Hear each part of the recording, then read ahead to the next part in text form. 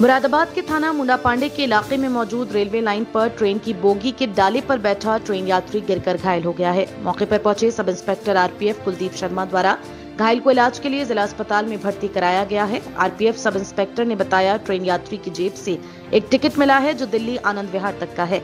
घायल की हालत में फ़िलहाल सुधार बताया जाता है। माना यह भी जा रहा है कि संभवतः ट्रेन यात्री नशे में होने के कारण डाले से नीचे गिरा था। क्या नाम है यात्री का?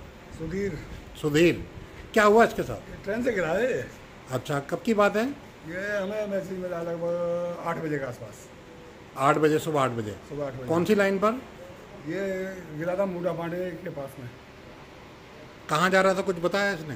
ये इसमें टिकट मिला है रक्सौल से आनंद बिहार रक्सौल से आनंद बिहार तक। हाँ।